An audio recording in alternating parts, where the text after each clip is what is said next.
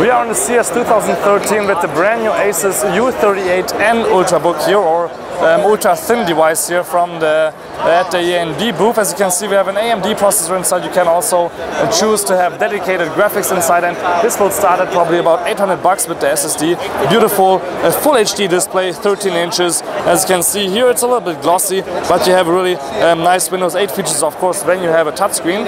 Um, then, as I said, we have a backlit keyboard, which is uh, quite responsive, huge trackpad, which is of course multi-touch, and um, as you wish, an SSD or hard drive inside. The um, port's actually the same as to the old Intel de devices, so we have USB 3, SD card reader, nothing on the front of course because it's quite slim, but on the other side we have a lot more ports, headphone, um, mini display port, HDMI, two USBs, one USB gives out extra power when you have um, when you have the device off also, so you can charge your smartphone inside your backpack for example, and then we have extra power. This is the maximum the display goes back actually, so that's also quite a drawback with uh, um, Asus, but the, from the outside it's um, a little bit um, matte metal finish, so it feels really quite nice. And on the bottom, you can also see that it's quite easy to um, well take out some screws, and you can change also the inside. So I have, as I said here, the Intel version. Also, you can see a little bit there's a difference.